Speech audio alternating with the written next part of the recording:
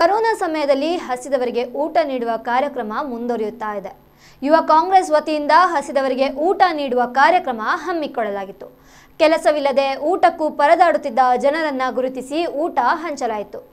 ಈ ಪ್ರಶಂಸಾನಾರ್ಹ ಕಾರ್ಯಕ್ರಮದಲ್ಲಿ K. Ranganath, Praveen Kumar, Girish, H. P. Girish, Gagan, Pavan ಮತ್ತಿತರರು ಭಾಗಿಯಾಗಿದ್ದರು.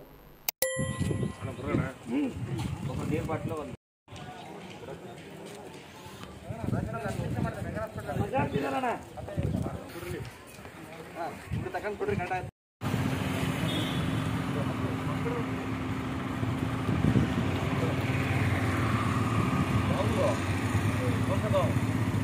ಚಾನ್ಸ್